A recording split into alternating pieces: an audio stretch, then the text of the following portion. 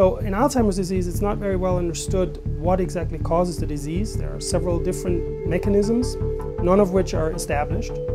One mechanism that people are looking at very intently uh, has to do with the possibility of damage to membranes, hole formation in the membranes of neurons by so-called amyloid beta peptides. These peptides are actually found in, in all people, not just Alzheimer's patients, but it's believed that in Alzheimer's patients, some biologic, biochemical processes get, let's say, out of balance and the peptide accumulates.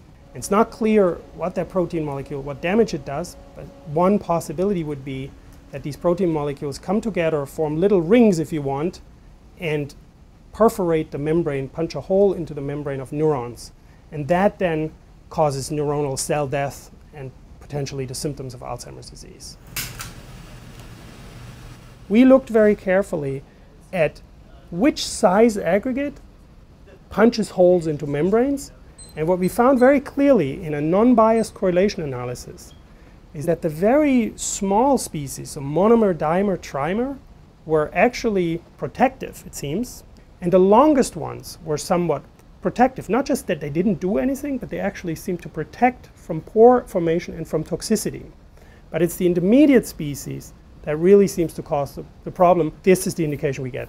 Too small isn't toxic, too large is not toxic, it's just the right size. In this case, it's the inverse from the Goldilocks. The, the intermediate size would be just the right size, except it's the, it's the right size for toxicity.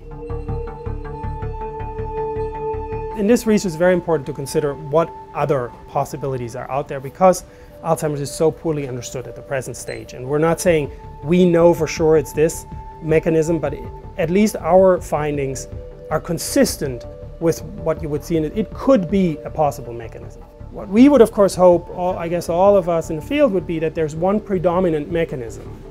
Because once you know that, then you could really try and target that mechanism. If we know it, for example, it's pore formation, we could think about avoiding the formation of a pore, or we could think about clogging the pore, basically avoiding its toxicity. So once you know, it's much better. You can really think about what can we do now, now that we know this.